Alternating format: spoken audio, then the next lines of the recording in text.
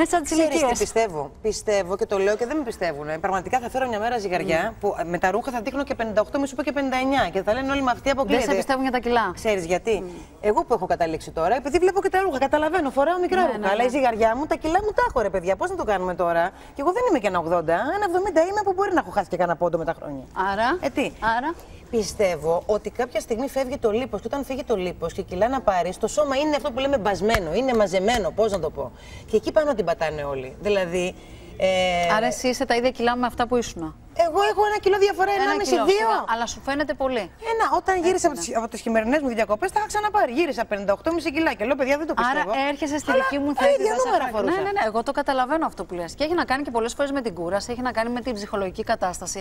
Και μην ξεχνάμε ότι στα 55 κιλά, το 1-2 κιλά θα φανεί περισσότερο από ό,τι θα φανεί σε κάποιον που είναι 70. Έτσι. Ε, καλά, στα 70 τι να φανεί, ρε, εσύ. Τεράστια. Ναι, δεν θα φανεί Εννοείται. τίποτα. Αλλά και εγώ νιώθω καλά.